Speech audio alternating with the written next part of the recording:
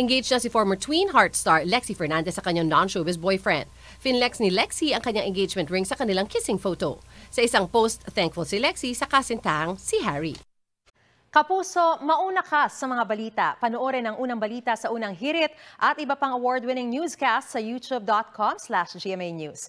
I-click lang ang subscribe button. Sa mga kapuso abroad, maaari kaming masubaybayan sa GMA Pinoy TV at www.gmanews.tv.